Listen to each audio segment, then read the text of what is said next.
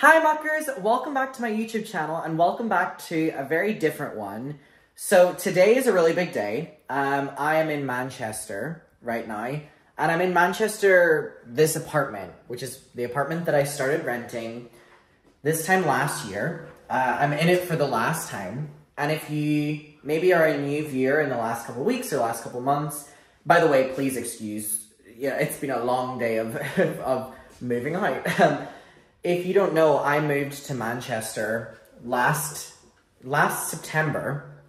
And the reason for that was because a lot was happening in the online world and my address had been posted in Brighton um, by shout out to the Colleen Ballinger fans.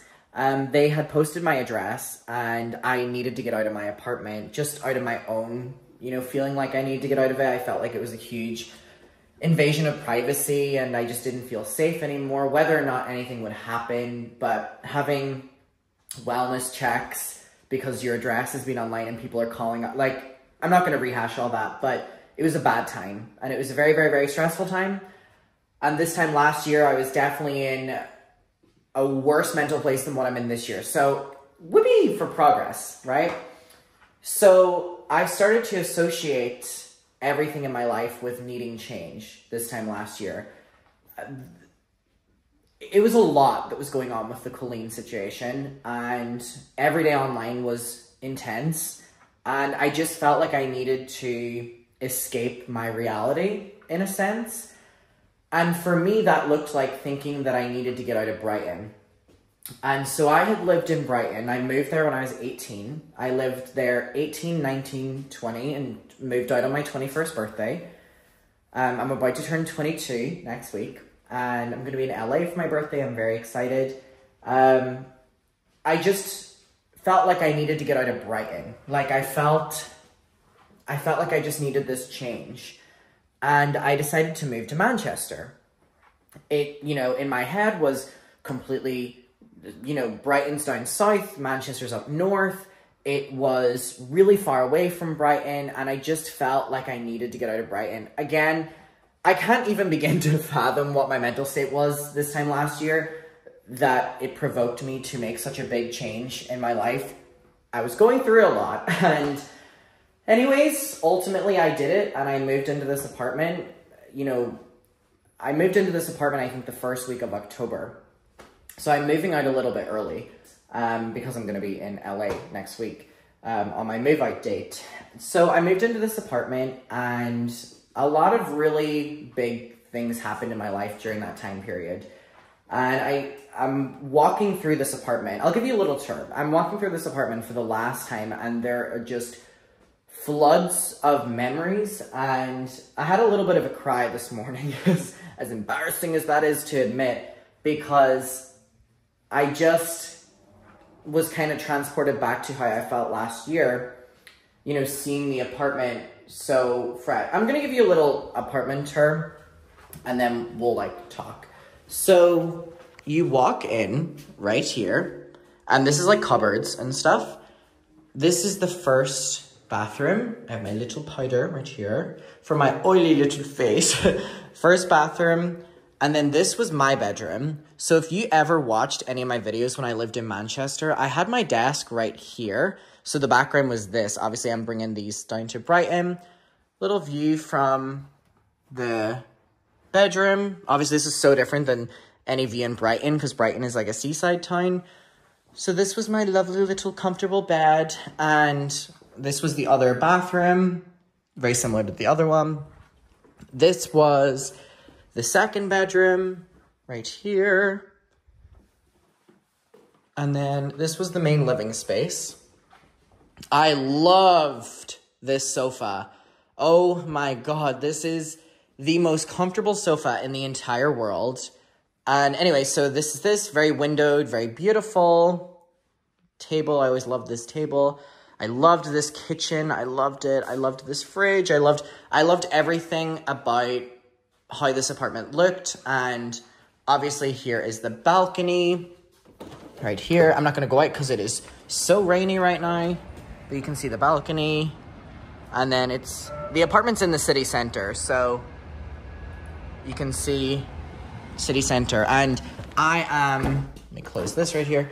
I am the top floor. So there's 20 floors to this place, and I'm the 20th floor, um, which is very high up and very different to my previous apartment in Brighton. I was very low down.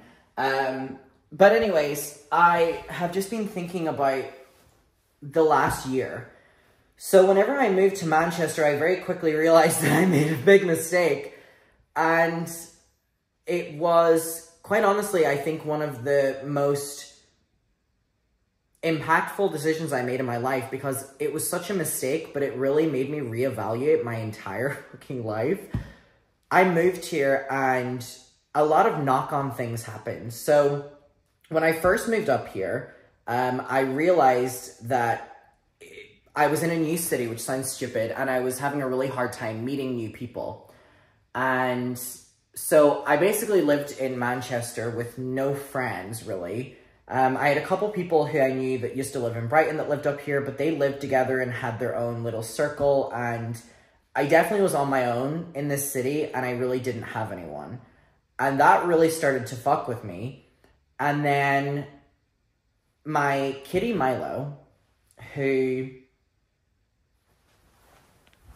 it's really weird because even though it is almost a year since I lost Milo, uh, it is, oh, and I don't want to get upset, but it is still one of the hardest things to think of. Um, oh my God. Milo, um, was my little kitty and I had a really bad year last year. Um, I don't mean to sound so doom and gloom, but in January, I had to put my cat, uh, Tyler, down of January of last year because he got FIP, which is a disease that cats can get, and it was just killing him. And the vet ultimately had, you know, made that decision. And I lost Tyler, who was my first ever kitty. My first, I got him the the day I moved to Brighton when I was 18, and we had been through so much together, and he was my entire world. Um, I lost him in January, and then I had Milo, and I also had a cat Gomez within that time. And Gomez ultimately had to be rehomed because he kept fighting with Milo and Tyler. And when Tyler died, um, the dynamic changed in the cats. And whereas Tyler used to be the top dog, Gomez wanted to be the top dog. He was a rag doll. And he started attacking Milo. And ultimately, he was separated for a few weeks, few months, and then he had to be rehomed. And then it was just me and Milo. And obviously I have Bonnie and Dolly, uh, my two dogs, but it was, it was me and Milo. And it, he, oh, sorry, I think I'm doing this as like a therapeutic thing as well to like say goodbye to like this era of my life. Oh my God, I don't know why I'm getting so sad. Um, wait a moment. I, you know, I put in such an effort to making sure that if I was going to do this move, that Milo was going to be as safe and comfortable as possible. And so, oh, fuck me. Um, I have to get a train to Brighton in like an, fucking 30 minutes. Um, so Milo, oh, fuck me, um, was just the best cat. And um, throughout the entire move, I was making sure that he was as comfortable as possible. And on the day of the move, um, he and so a couple weeks before we moved, I got Milo neutered, and I had vlogged all this and stuff, and I still have a suspicion that something went wrong during that surgery that I wasn't told about, because ultimately after that surgery, Milo kind of changed a little bit, and he was very lethargic and very, you know, slow and he was gaining a lot of weight and I just didn't know what was happening. And anyways, we did the move and I had a mover, huge truck, brought all my stuff in Brighton and Milo sat in the front seat with me and the driver. And when we moved, he, um, oh, um, I was, he was such an adventurous cat and I was so excited for him to experience somewhere new. And when, oh my God, sorry, again, I feel like I'm selfishly doing this so I can like kind of document and like feel like I'm talking to someone and saying goodbye to this era. Um. So whenever I, the move-in day, I remember just opening the little item in a little carrier and he went around everywhere. Went around everywhere and I set up cat trees for him and there's one right there. And there was another one like right over there and he just loved it and he would walk up and down the apartment and it was just all so new for him. He used to hide under here. He used to sit on here and I think one of the devastating parts about this is he used to have an imprint here and the imprint is now gone. Uh, oh my god. Um, it literally looked like that. Um, this was his little spot. When I would sit here, he would sit there. And it's hard because this apartment is my last memory of Milo. And I'm going to be walking away from it. And while I'm not sad to walk away from the apartment, I just feel like I'm leaving behind my last memories of Milo. And I would do absolutely anything in the world to have him have him back and just walking away from this apartment is, you know, it, it's emotional for a lot of different reasons. Milo being the main one, but another one being I just mentally go back to that time period in my life of last year and how stressful of a year it was. And um, there, there just was so many things that happened to me. And after that happened with Milo, I mean, I was just miserable, like absolutely miserable in this apartment. And that was a big reason for it. And, um, and then a couple weeks after I lost Milo, um, I remember I had started going to this bar and um, I met someone in the bar and we had a really, really, really brief, um, really, really, really brief, like, um, kind of relationship. And it was my first ever time having a relationship. And by the way, relationship, I'm using that very vague. Um, you know, we were exclusive to each other and stuff like that, but it was more than I had ever been with anyone in the past, right? Um, and so that went on for like, literally like a month and a half or something. Like it wasn't that, that long a time, maybe two months max or something, right? But I really clinged on to that because I was so miserable. And ultimately that didn't work out. And then that was just a huge hit as well. Um, because I ultimately thought it was something that I really wanted, and obviously it wasn't. I was just clinging on to anything and any form of company and support. Um, so a lot of those memories, you know, are flashing back whenever I'm like in this apartment and I'm like thinking back on those things as well, and I don't necessarily know how I feel about those. Um, and so there was just a lot of like negative things that happened to me in in like the Manchester era and it's one that I'm definitely like ready to move on from. And obviously, um, I started renting this apartment in October and I started renting an, an, a new apartment in Brighton in March, I think. Um, because it was either I moved back to Brighton or I moved home. And I was in a year contract here and I couldn't get out of the contract at all. So I've ultimately had to like continue paying the entire year, even though I really wasn't living here at all, um, which was a huge hit and really unfortunate. But I think at a certain stage, it was like I would rather work a little bit harder and be able to afford renting here and somewhere else or renting here and living at home rather than like being absolutely miserable.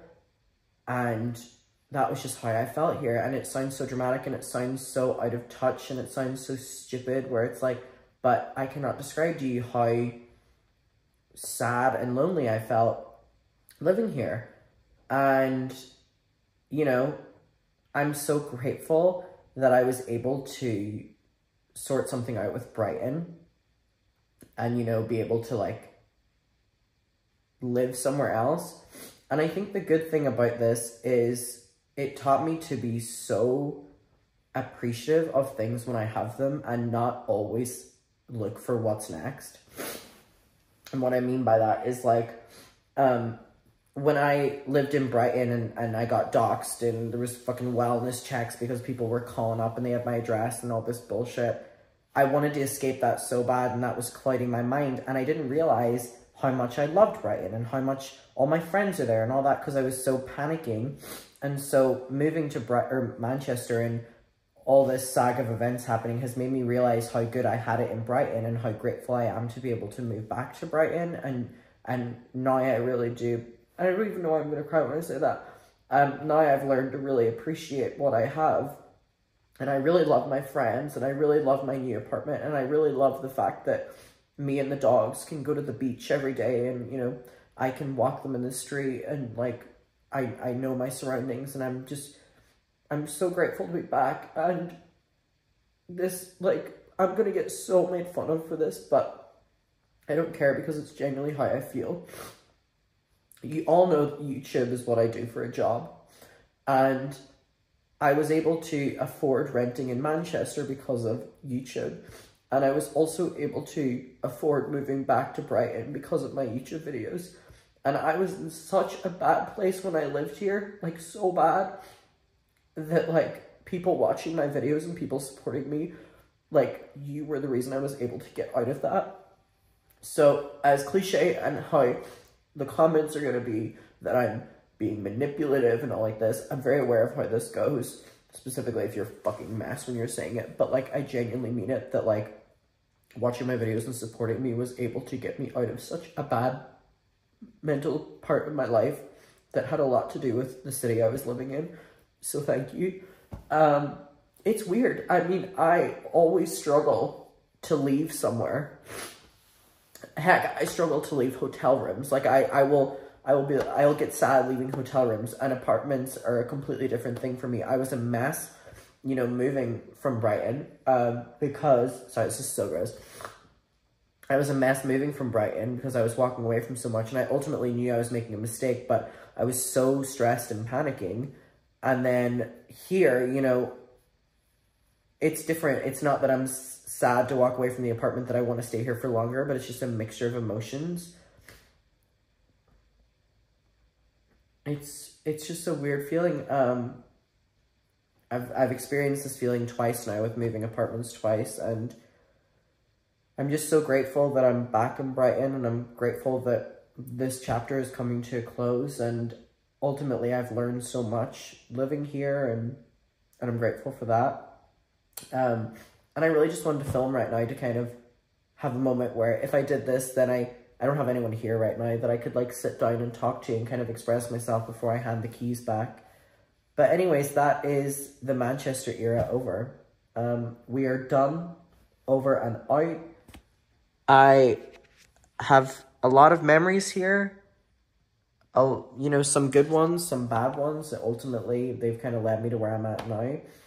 I cannot believe that I have to go down to the reception right now with my teary eyes and do a checkout report and then get on a train back to Brighton, I am going to look crazy.